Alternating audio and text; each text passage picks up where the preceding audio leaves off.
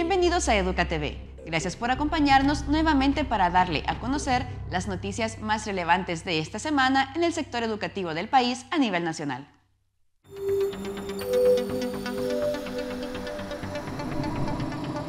La Fundación Zamora Terán confirma su compromiso con la educación de los niños y jóvenes de Honduras. En esta ocasión se realizó la capacitación de al menos 23 docentes de las escuelas Hogar de Nazaret, Paquita Guerrero y Reino de los Países Bajos, con el fin de brindar una mejor educación a los niños.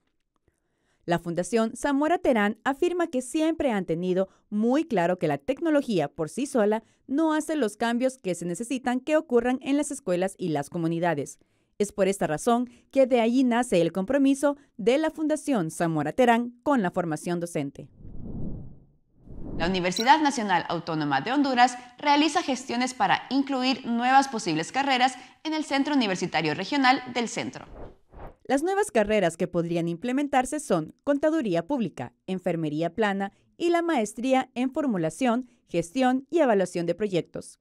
Estamos haciendo las gestiones para ver esa posibilidad de que el caso de la carrera Contaduría Pública se pueda impartir con la vicerrectora este, académica de las gestiones para que enfermería, el plan A, se pueda impartir en Comayagua.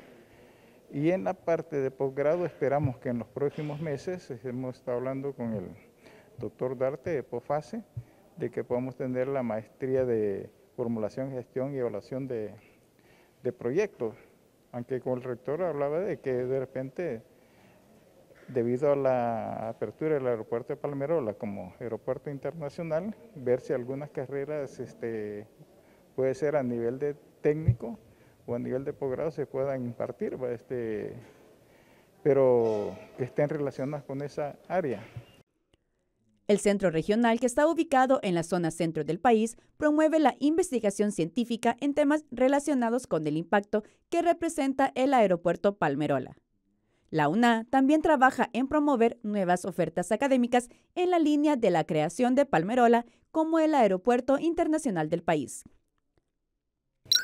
El canal seco, la parte industrial, agroindustrial ha crecido y por eso también hablaba con el el ingeniero Eduardo Gross, el decano de ingeniería, para ver la posibilidad que la carrera de ingeniería civil, ingeniería industrial pueda ser este, una continuación hacia Comayagua debido al crecimiento que ha tenido en esa área. Que toda carrera que se te pueda impartir en el centro sea acorde a las necesidades que la población de la zona central este, presente en ese momento no carreras de que de repente que como director pueda, creo que sean las alternativas, sino lo que surgen de acuerdo a un diagnóstico de la zona y que, y que se pueda observar que sea una carrera que va a contribuir al desarrollo integral de la, de la región. El Centro Regional de la UNA ofrece nueve carreras, tres a nivel de licenciatura, dos del área de ingeniería, cuatro técnicos universitarios y una maestría, con una matrícula de alrededor de 3.000 estudiantes por periodo académico. Por otro lado, el Centro Tecnológico de la UNA, ubicado en Danlí, también podría tener una nueva oferta académica con cuatro nuevas carreras y seis maestrías. Estamos en gestión de cuatro carreras, que una ya, ya está lista, que es el técnico en control de, calidad de agua. También está se está gestionando el técnico en agroexportación, la carrera de lenguas extranjeras para el tema de la enseñanza del inglés. Tenemos maestros, centros básicos, escuelas, colegios que no, dominan el idioma inglés y estamos también eh, perfeccionando, mejorando todavía el tema de café con el técnico en control de calidad de café. Las áreas en las que se enfocan las nuevas maestrías que podrían incorporarse en este centro universitario son salud, informática y abogacía. Dos que están relacionadas con la gestión de informática, eh, dos que están relacionadas con enfermería, porque nosotros ya tenemos ya un buen grupo de egresados de enfermería, eh, o sea, relacionadas con la salud, eh, inclusive con el tema de abogacía, ¿verdad? con la maestría en derechos, relacionadas con el tema de derecho. Y eh, siempre con la de administración de empresas, las que están en ciencias económicas. El objetivo de la universidad al innovar en la nueva oferta académica es de mantener el Centro TEC de Danlí a la vanguardia en educación para formar profesionales que contribuyan a la transformación de Honduras.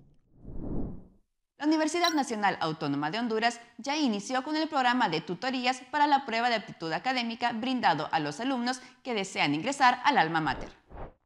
Estas tutorías son impartidas por la Vicerrectoría de Orientación y Asuntos Estudiantiles en las modalidades virtual, presencial y semipresencial para todos los que se inscribieron para recibir los cursos.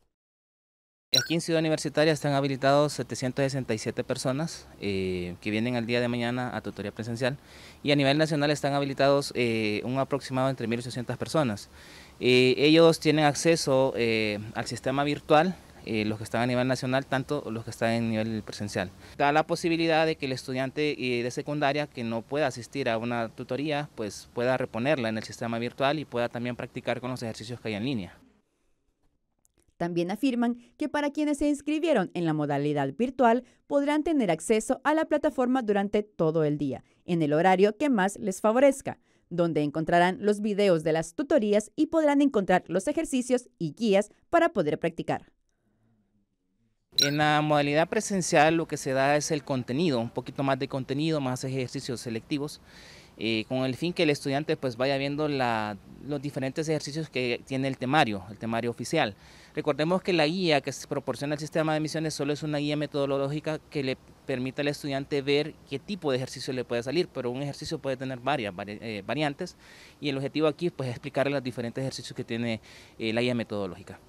Cabe destacar que la modalidad presencial de las tutorías solamente se imparten en Ciudad Universitaria, en el centro regional ubicado en Comayagua y en UNATEC Aguán. La asistencia de dichos cursos son los días sábados, dando comienzo el 30 de julio hasta el 17 de septiembre. En el marco del Consejo Consultivo de Educación Superior, los rectores de 21 universidades públicas y privadas de Honduras firmaron un acuerdo con el fin de integrar programas académicos en el tema de cambio climático y reducción de riesgos. La firma del convenio se realizó en la Universidad de Zamorano en Francisco Morazán. Allí, los representantes de educación superior acordaron incorporar en los planes educativos las temáticas de medio ambiente. El rector de la Universidad Nacional Autónoma de Honduras, Francisco Herrera, destacó que es de mucha importancia para la educación superior porque hemos podido establecer una firma de parte de los rectores de las universidades hondureñas afirmando que se tienen que involucrar a todas las carreras porque no se puede solamente enseñarle y motivar a las personas que quieran entrar a estas carreras. Se necesita darles motivación a todas en este tema tan importante.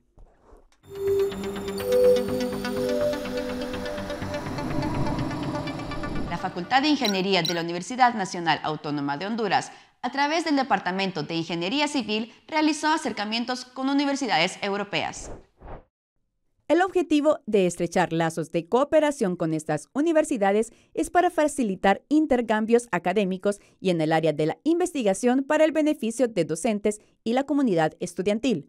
Nos sirve para medir la calidad de nuestra educación, para saber cómo está eh, en nuestro nivel del estado del arte de nuestra facultad en referencia a universidades de, prestigio alrededor del mundo. Eso nos da muchas referencias, incluso algunas adaptaciones interesantes que ya se procuran en los rediseños curriculares, para colocarnos precisamente a nivel y a tono ¿verdad? con el resto del mundo. Por otro lado, el ingeniero, docente e investigador de la carrera de Ingeniería Civil, que también fue partícipe en un evento de la Universidad Tecnológica de Silesia, Polonia, afirma cuáles son los alcances a los que se ha llegado. Tuvimos eh, algunas reuniones muy beneficiosas. Eh, en lo personal, eh, como soy especialista de deslizamientos de tierra, entonces tuve reuniones con el jefe de Departamento de Ingeniería Civil de la universidad, con algunos profesores que están interesados en hacer colaboraciones de investigación en temas de deslizamientos de tierra y erosión.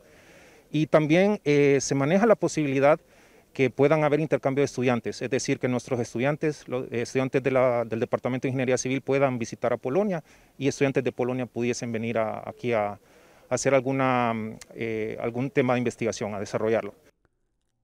La Facultad de Ingeniería de la UNA se destaca como un referente académico y tecnológico debido a la creación del Instituto de Investigaciones de Ciencias Aplicadas y Tecnológicas y del primer Centro de Innovación y Realidad Aumentada de Centroamérica, y para el 2023 está previsto el lanzamiento del satélite de Morazán.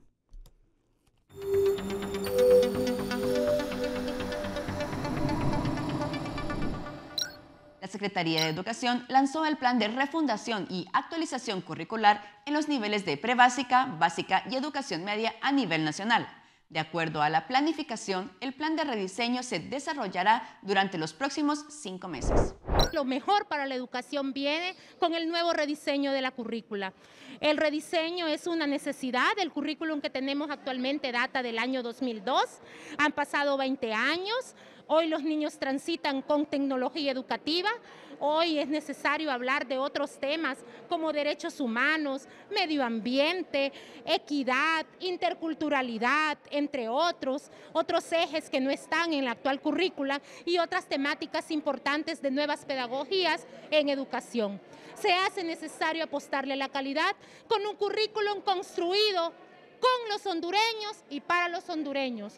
El actual que tenemos fue construido bajo un modelo finlandés de estándares educativos. Nosotros no nos podemos comparar con nadie.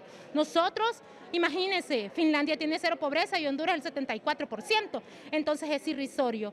La propuesta anunciada por la Secretaría de Educación está basada en el contexto nacional, siguiendo las tendencias internacionales para atender con calidad y calidez educativa y poder contribuir a la formación de ciudadanos del mundo.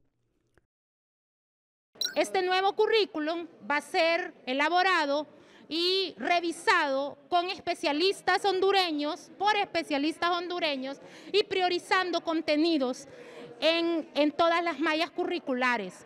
Tenemos 44 BTP en el país, creemos que es demasiada oferta, que también hay que ser sometida a revisiones por regiones del país.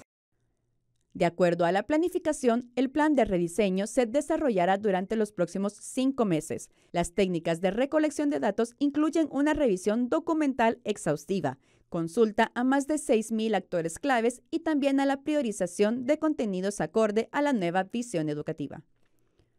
Los nuevos ejes transversales, medio ambiente, equidad, derechos humanos, prevención en, en salud sexual y preventiva, emprendimiento escolar, es necesario transitar en él. Entonces, eh, son nuevos temas, nuevas pedagogías en educación y también eh, toda la parte de digitalización. La viceministra nos comentó en qué departamentos del país se realizarán los pilotajes. Afirma que el proceso se comienza desde la próxima semana para poder comenzar lo antes posible con la nueva actualización en febrero. Una vez lo validemos con los docentes en el aula de clase y con las modalidades educativas en todos los niveles, lo hacemos efectivo y oficial a partir del 2024, porque primero tenemos que hacer los pilotajes. Este es un proceso académico y científico que lleva su tiempo. Van a ser en Comayagua, La Paz, Olancho, Santa Bárbara, Cortés, Tegucigalpa, Choluteca y Valle. Los pilotajes para hacer la consulta comienzan la próxima semana y para hacer la revisión del nuevo currículum y la implementación. El secretario de Educación, Daniel Esponda, estuvo presente en el seminario y taller Educación para el siglo XXI en América Latina y el Caribe, prosperar, competir e innovar en la era digital. Esta contó con la participación de ministros, ministras y expertos en educación de Iberoamérica. El seminario tuvo como propósito brindar un espacio para debatir y poner en común una hoja de ruta que permita el pleno desarrollo de modelos híbridos de educación en la región, teniendo en cuenta que, tras la apertura parcial de escuelas y universidades en 2021, se manifestó la amplia brecha digital existente entre los países iberoamericanos. De igual manera, además de la participación del seminario ministerial, el ministro Esponda también acudió a diferentes reuniones bilaterales por grupos de interés entre los funcionarios de cada gobierno a fin de desarrollar una agenda de cooperación e intercambio de buenas prácticas y experiencias de éxito. Desde agosto de 2021, tanto la OEI como el BID vienen trabajando en el desarrollo de una estrategia regional que tiene como finalidad desarrollar modelos de educación híbrida para los países de la región. En la actualidad, el proyecto se encuentra en fase de implementación de pilotos que servirán para la expansión de los sistemas híbridos a otros países. La Junta Nacional de Selección para el Concurso Docente 2022, luego de haber extendido el plazo para las inscripciones, también reprogramó las fechas de aplicación de las pruebas para los postulantes. Las fechas que se adicionaron para ingresar los documentos para poder participar en el concurso docente de este año fueron el 1 y 2 de agosto. De igual manera, se reprogramó la aplicación de pruebas de conocimientos y aptitudes profesionales, la prueba psicométrica y entrevista para los postulantes a directores y secretarios departamentales a las siguientes fechas. Para los postulantes a directores y secretarios departamentales se realizará del 6 al 8 de agosto. Y se reprogramó la aplicación de pruebas para directiva docente, técnica docente y docentes que ahora se realizarán del 22 al 26 de agosto.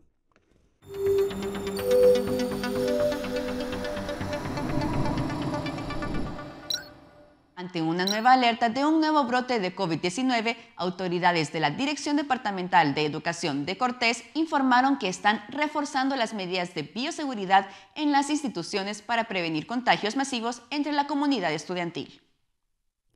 La Comisión Permanente de Contingencias, COPECO y la Secretaría de Salud se encuentran realizando evaluaciones y monitoreos en los más de 2.000 centros de enseñanza que hay en Cortés especialmente en donde ya han tenido casos de COVID-19.